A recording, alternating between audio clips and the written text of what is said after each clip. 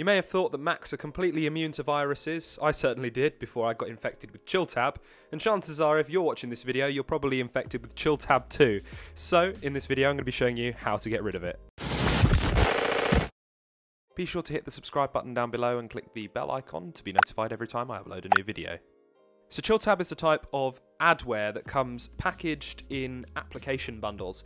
Uh, I got it by downloading a piece of software and for some reason it just booted itself onto my computer and attached itself as a uh, Safari extension. That's when you'll notice that it happens because it continuously loops itself into loading it on your Safari page. Now the reason you want to get rid of this is because it steals your personal information and also looks at your browsing history, stuff like that, all the personal stuff that you're probably not going to want an external organization to be looking at. Chances are if you've got ChillTab, you're going to know about it. It slows down your machine like anything and it's going to keep on booting up Safari even if you're not using it. I mean personally I use Chrome and it still boots up every five seconds. But if you think you might have it, it might be an idea just to check because obviously there's no harm in doing so and you can save your computer in the long run. I literally spent an entire day last week trying to figure out how to remove ChillTab off my computer.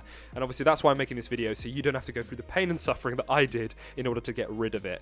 So when I looked at a few different websites, there were mixed opinions and stuff, and in my opinion, there was a few comments on there that made it look like they were actually posted by the ChillTab developers. They were just telling you to go to certain different websites and download pieces of software that would only make the situation worse. And then when I tried to get rid of the software, it would just tell me if you pay X amount, then you can get rid of it completely. So I have a feeling there was some sort of affiliation between these programs in order for them to make some sort of money out of it. I'm not too sure. But there was one method that I found on the internet that worked and it's completely gone from my computer now. I've run all different antivirus softwares. There is absolutely nothing left. And the piece of software that I used to get rid of it for good, it honestly, nothing pops up at all anymore. So I can guarantee that this will work uh, is the DetectX Swift. You don't want the normal DetectX, you want DetectX Swift. And that program is built specifically to get rid of the ChillTab and also any other stuff that you don't want on your computer.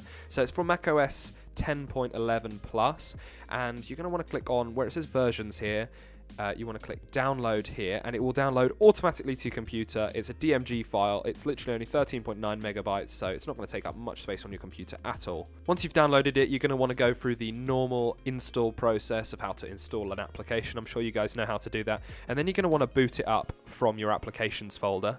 So when the program opens, you're going to want to click on the search button here, and once you've done that, it's going to pop up with all the different files that detect the ChillTab virus, and then all you have to do, there's just a big remove button, you just have to click remove, and it will be gone from your computer forever. So obviously, if I click search on here, it does the entire thing and it says there's no threats or problems found whatsoever.